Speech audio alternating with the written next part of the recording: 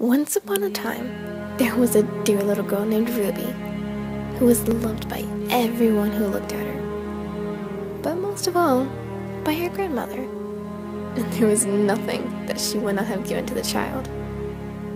Once, she gave her a little riding hood of red velvet, which suited her so well that she would never wear anything else. So, she was always called Little Red Riding Hood.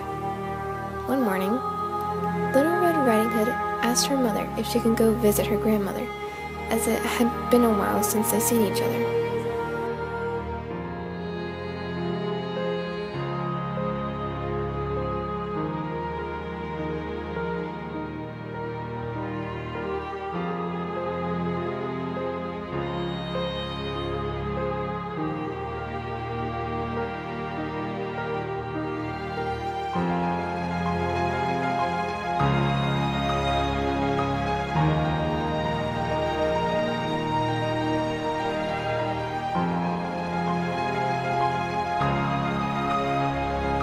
Today,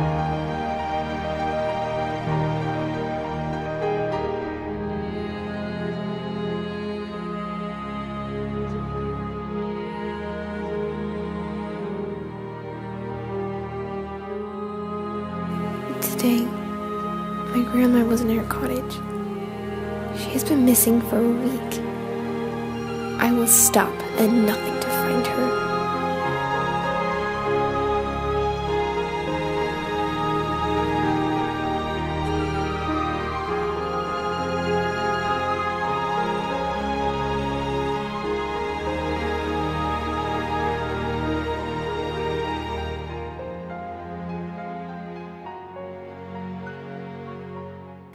I am Little Red Riding Hood.